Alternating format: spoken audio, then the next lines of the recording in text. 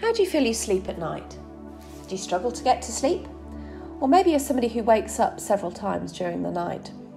Or are you finding that you may be going to bed later and later, or waking up in the morning feeling exhausted rather than refreshed as if you've had a good night's sleep?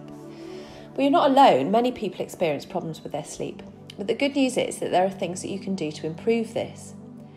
Good sleep really is important for our work performance and also our physical and mental well-being.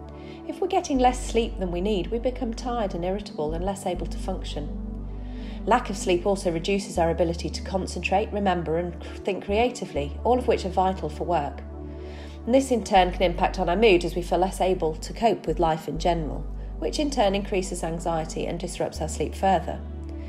All of this usually stops once that sleep debt is repaid.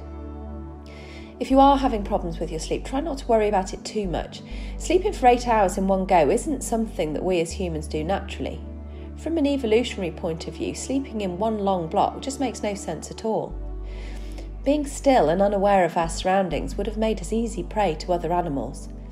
We have to train our bodies to sleep at night. It's something that we had to learn as babies, and it's something that we can learn again.